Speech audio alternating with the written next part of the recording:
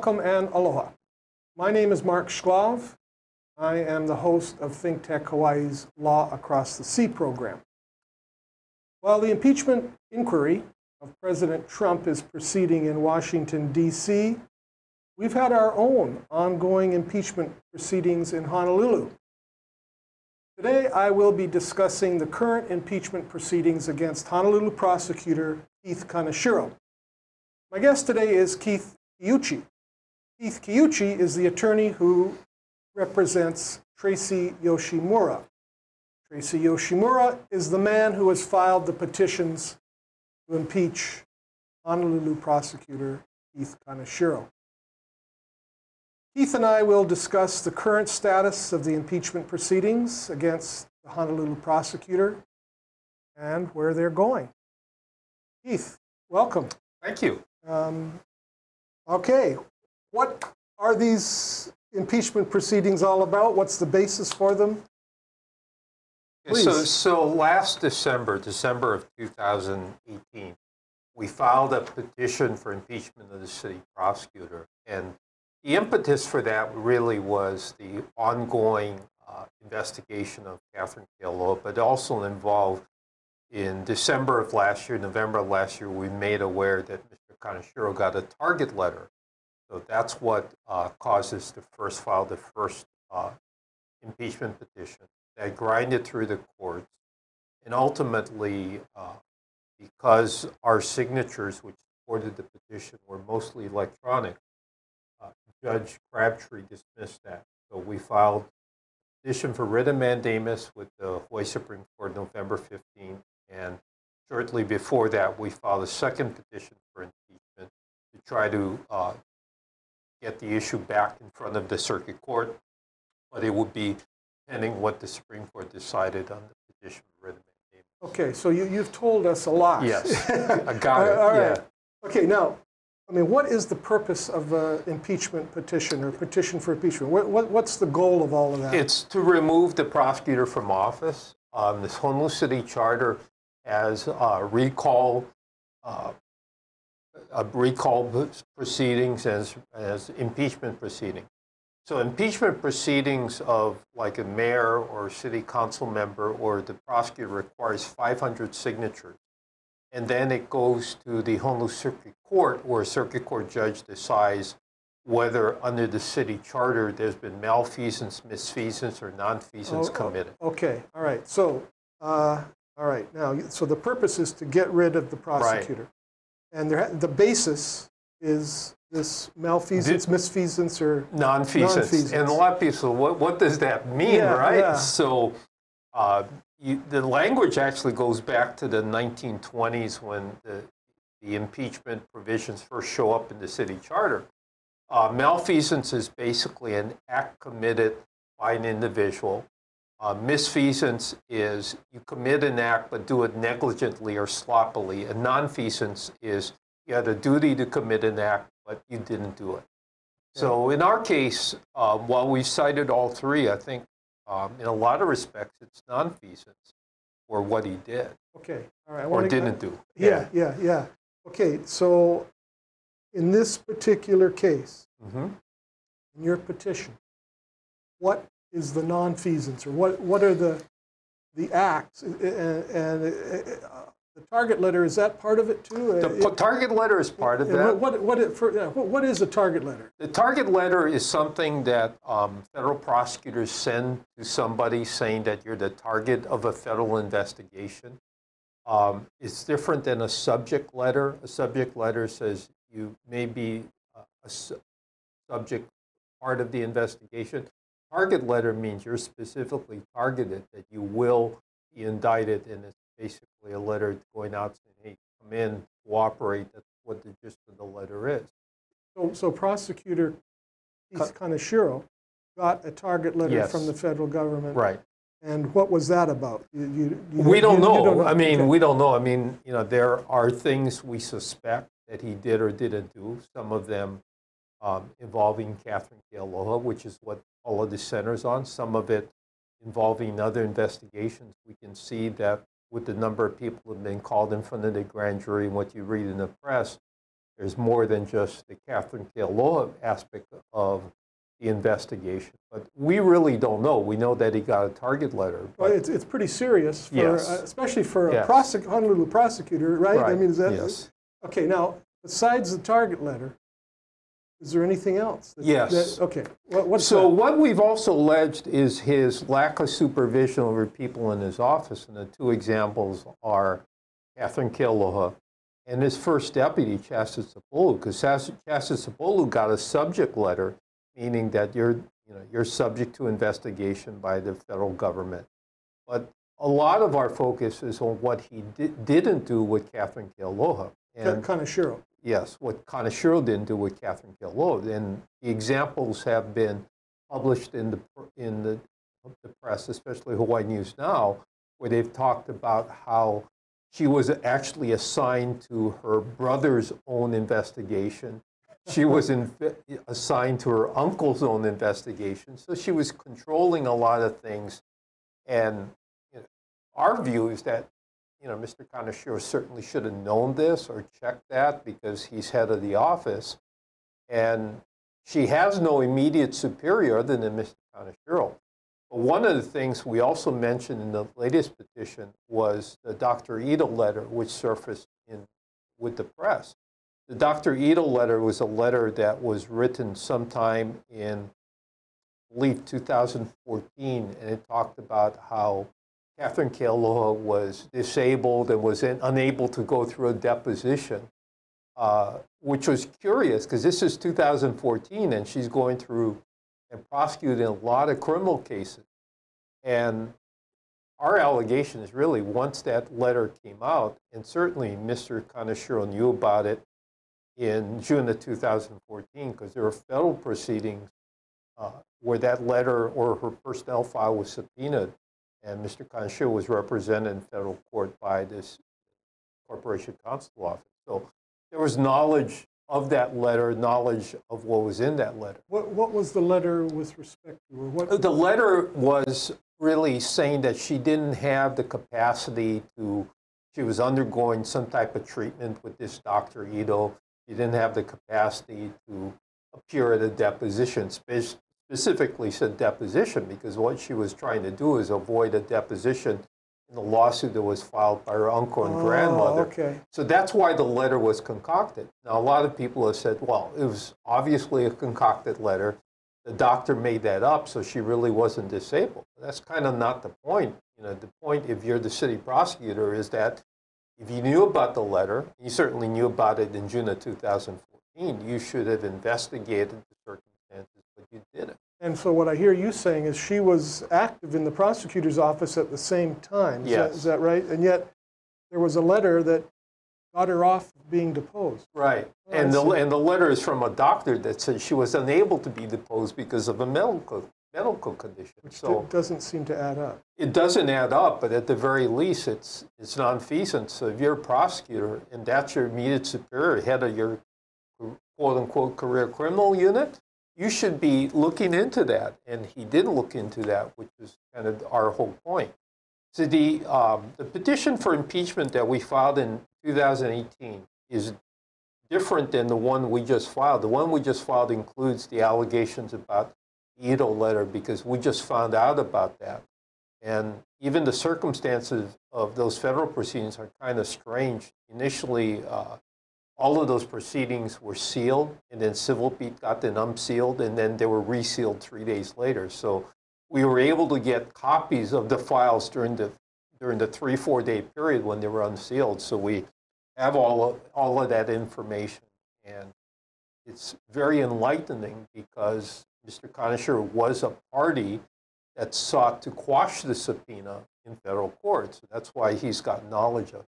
Oh, wow. Yeah. Okay. So- that, that's a fact I, I, I wasn't aware of either. Yeah, and, and a lot of it, it really was, if you're a party, then it doesn't matter whether it was in her personnel file. Right. It doesn't matter know whether you, you know you knew about it in June of 2014. So what did you do after that? And part of why I think my client, Mr. Yoshimura, was so upset was because in the fall of 2014, he tried to get the first indictment against him, first indictment, criminal against indictment against him and, and his co-defendants dismissed with prejudice. So this, the Ito letter Mr. was never Yoshimura disclosed. Yes, was uh, indicted or Right. had, a, had a criminal case against him, which was ultimately resolved. was the first case was dismissed because the prosecutor's office felt that it, there were things that went on that was inappropriate. And one of the things the press focused on was the fact that the first indictment occurred on May 1st, 2014, and the Ito letter was still in effect. So she, it has been pointed out by the press. Effectively, she did Hawaii's largest gambling indictment on May 1st, 2014. Well, she was incompetent. Right, exactly. Exactly. So that, that's an interesting question. So, so Mr. Yoshimura was indicted yes. for gambling or For, for these, what they call products direct sweepstakes machines. So Okay. his position, And, and, uh, and she was the prosecutor Right. for that case, and she was, all- had been ruled incompetent, or she ha- Had a letter. Had a letter from a doctor saying she really wasn't able to do, right. appear at It- a it- deposition, so why should she be able to work as a prosecutor? Is that what your right. argument would be? E- Exactly. And that's, and Yes, that's so- kind of the position the press has been taking is how in the world could you do that and you have this letter? Well, again, a lot of people have said, well, the letter's concocted. But it doesn't matter whether the letter's concocted. The letter exists. And the knowledge of it. Right. And, and I think the question beca- becomes, well, did Mr. Kaneshiro have the personnel fault? You know what? It doesn't, Doesn't really matter, matter yeah. because he knew about it in June of 2000, 2014. Because he was a party of the, the case. His party in the case when Wow. they tried to quash the subpoena. So he certainly had knowledge about it. Okay, so you were the attorney for Mr. Yoshimura at the time. that Uh, correct? Back in, actually in 2014, Myles first represented him, Myles Breiner. Myles Breiner. And. Myles represented him because we thought that I would be called as a witness. And the reason I would be called as a witness, because in Tracy's first indictment, they indicted him for conduct on arcades that he did not own. Back in 2014, he owned no arcade. Yet, despite that, they traced all of these machines to arcades that they said that he owned, and we knew that was false. So at that time in 2014, it looked like I'd be a fact-based witness Because, because I would be able to attest to the fact that he didn't own Oh, any, any, of I those see, arcades. So uh, it was a little different in 2016 when he was re-indicted. Uh, at some point, it was apparent that I would no longer be a fact-based witness. So Myles and I together represented him. and, and those cases, the criminal cases against him were ultimately, They were Dismissed. dismissed. He was indicted a second time in February of 2016. That case was ultimately dismissed uh, on a speedy trial grounds. Uh, the employees' case, uh, the employees were indicted separately. They were dismissed on different grounds, uh, mainly for in part prosecutorial misconduct, in part speedy trial. So there were different bases for the employees being and, dismissed. and there's no longer any There's no criminal longer any case. The prosecutors never appealed, despite the fact that the judge that made the ruling anticipated an appeal, but the prosecutors never appealed either.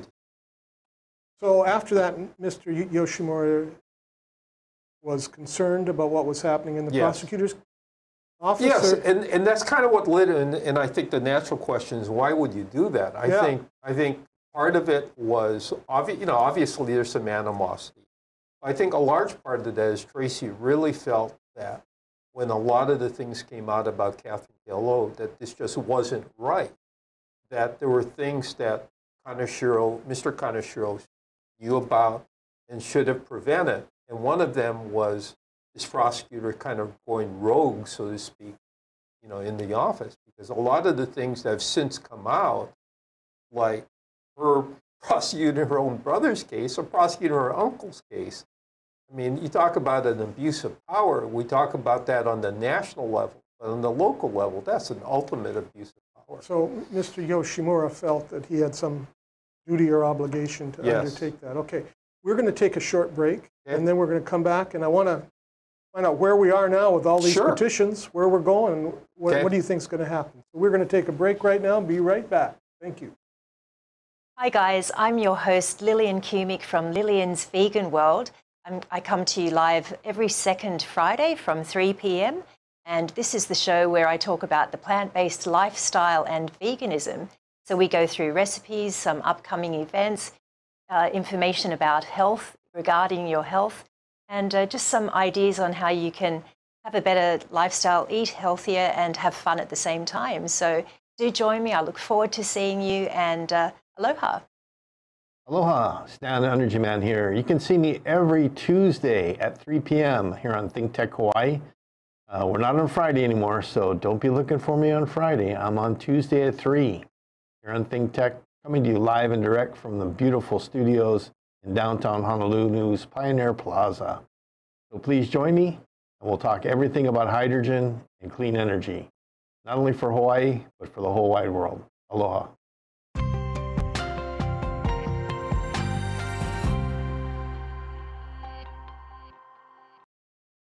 Welcome back. I am Mark Shklov, host of Think Tech Hawaii's Law Across the Sea program, and I am here with Keith Kiuchi, and we are talking about petitions to impeach prosecutor Keith Kaneshiro that Mr. Kiuchi has filed on behalf of Tracy Yoshimura. And Keith, uh, when we were talking, uh, there, there is really pending petitions, Yes. right? There's, there's two, and one, one was dismissed by Judge Crabtree because Right. of signatures. Right. I'd, I'd like you to explain that, but, but then I also, what's the next petition and what's the mandamus about? But first, why did Judge Crabtree dismiss the first petition because of the electronic signature? Well, the primary basis, he dismissed it, and we cited to him, there's a Hawaii Electronic Signatures Act, I believe it's 497. And he said that, and the city said that they had the right under 497 to reject electronic signatures, but that's not the way the statute reads. The way the statute reads, what we assert is that the city can carve out an exception, but uh, our position has been that they need to adopt rules under Chapter 91, the Hawaii Administrative Procedures Act, in order to carve out that exception, which they didn't do. It's kind of a strange statute because the Hawaii Electronic Signatures Act, on one hand, says you have to accept the electronic signatures. On the other hand, it says this shall not uh, prevent the government from rejecting the electronic signatures. But in that same section of the statute, it says that they have to specifically state what the exceptions are. So you, you, your basic argument, as I hear you saying it, is was that the law says you can have electronic signatures uh, unless you have a rule that says you can't, Right. and they didn't create a rule. They were just Right. making a sort of ad hoc decision. Well, and that's the whole idea because you, Chapter 91 exists because you can't just pull the law out of the air. You have to have, you have to go through public hearings, you have to give notice, and people would testify. Uh, and ironically, there's a very similar case in U- Utah Supreme Court decided case Anderson v. Bell that was almost on an identical statute, and they said, no, you've you've got to, you can't just arbitrarily reject the electronic signature.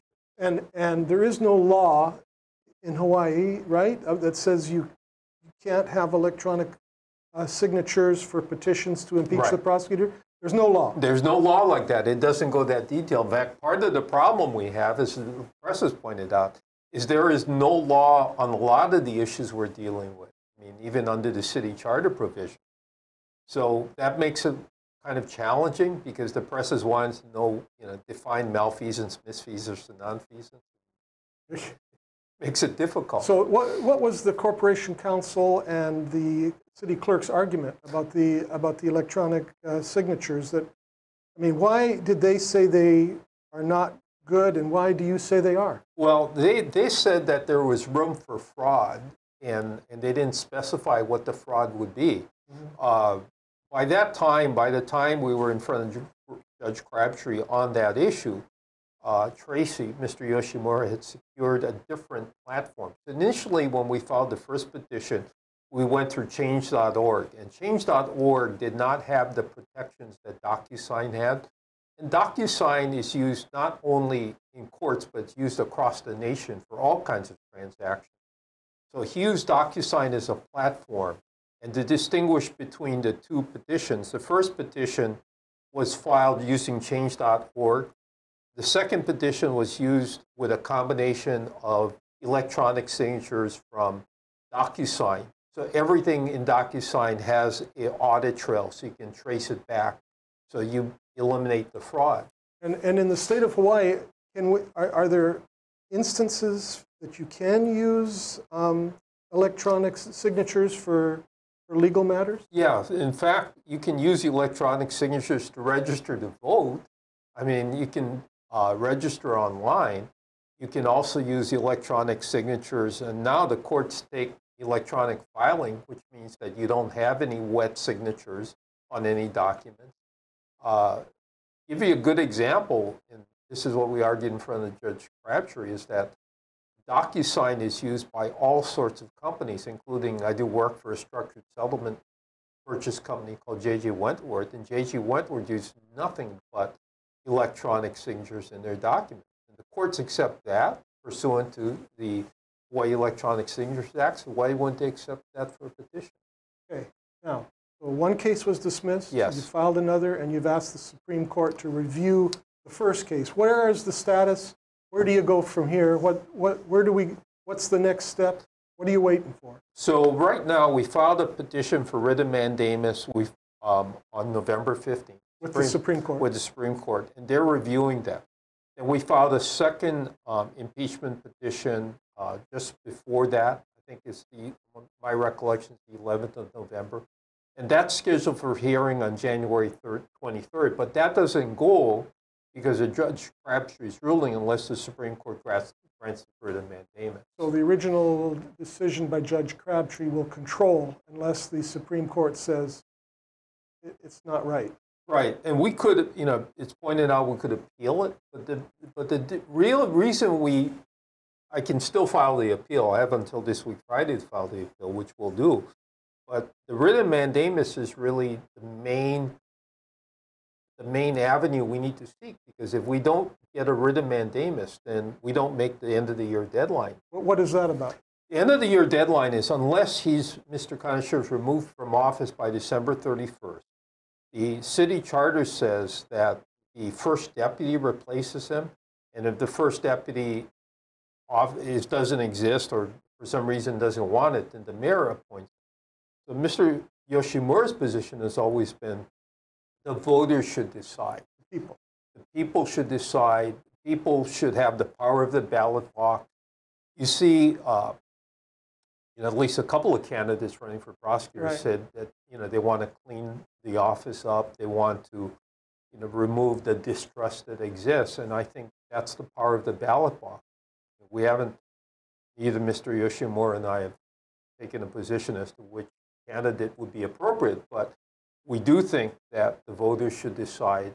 Not, and the first deputy certainly shouldn't be the one going in, uh, especially under the circumstances where he's under a microscope right now, and the mayor shouldn't appoint him. With all due respect to the mayor, that should be the power of the people in the ballot box. So you have to know by December. 31st, whether Well, he's going to be you have to have a right? decision. And that's going to be, yeah, Okay, I that's a tough So, so you still have to have a hearing. All right, So, and today uh, is what, the 9th. right, So you have to have a decision with enough time to have a hearing right. in order to win or lose at the hearing, I suppose. I Right. mean, I guess it, what's the procedure at the hearing? The judge hears evidence and Yeah, the judge would hear evidence. I mean, it's not real clear because prior to, um, they changed the law, I think, after the Rene Mansho impeachment, where it used to be with the Supreme Court and now it's with a circuit court judge. Why they changed the law is kind of curious because the Supreme Court, as you know, wouldn't take evidence as much as they would take, uh, I guess, briefing. Maybe that's why they did it because maybe the circuit court judge needs to take evidence of what malfeasance, misfeasance, and nonfeasance. I mean, that's what we first contemplated, and um, that was kind of the schedule that Judge Crabtree had set out. So you're waiting. we're waiting. We have the second petition was filed, like I said, um, just before the writ was filed. We have a January 23rd hearing, but that January 23rd hearing is not going to go unless the Supreme Court Everything's kind of dependent on what the Supreme Court the does. Supreme Court Yeah, does. And if they do not grant your mandamus, then you would appeal. Right. And then who knows how long that'll take. Right. And the question is, you know, and I pointed out in my writ of mandamus, I mean, even, you know, even the December 31st deadline, as important that is, I mean, the practical matter is can we have an appeal heard by the time it becomes moot? I do not want it to become moot because I think this is an important issue. So, right. I mean, the argument is it becomes moot once the elections are held. Well, I kind of disagree with that. Actually, I think before. Before. Well, technically, he's the, the prosecutor's in office until December 31st, which is yeah. kind of an interesting. You know, it's kind of different than the governor. But anyway. Um, and so he is still the prosecutor. Right.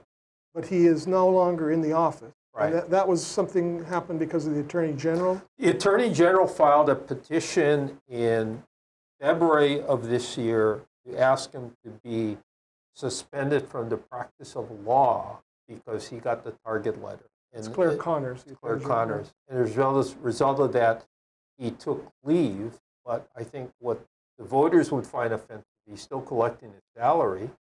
Um, he's been seen at least once in the parking lot with his administrative assistant, um, which I really got some issues with. And I think you know, Mr. Yoshimura does as well. So I think the best thing is to remove him from office. You remove him from office, the sooner you can get the electorate to decide who goes in. Whether we have one election or two elections, I think that's important. In the time we have left, why should we care? I mean, why not just let it let it go? Why? I think we should care because our government should not have the kind of stench that it does now. Frankly, I think this whole Kealoha matter and just doesn't involve Mr. Kaneshiro, but I think the entire matter has made people distrustful of government, distrustful of the criminal justice system. And they have every right to do that. And I think, as I said, a lot of the people running as candidates for city prosecutor want to restore the public's trust. I think a lot of the things that have been alleged and a lot of things have happened, like DUI cases being dismissed or the electrician's tickets being fixed, that may be small, but that's a symptom of what's wrong with the system because what you shouldn't have is a power that goes beyond all of that. I mean, an absolute power, and this is what's going on in Washington, D.C. right now, is that if you've got that kind of power, that power needs to be curbed. So I think that's why people should care. People should care whenever there is an abuse of power by any of our elected officials and anybody under him. And I think that's why people Keith, thank you very much. Uh, Keith Kiuchi, uh, we'll, the next few days see what will, happens. will be important. Yeah. And we'll see what happens in all of this, in the petitions uh, to impeach Keith Kaneshiro, the prosecutor. And that's it. That's it for today. Thank you very much. I'll see you in the new year. Aloha.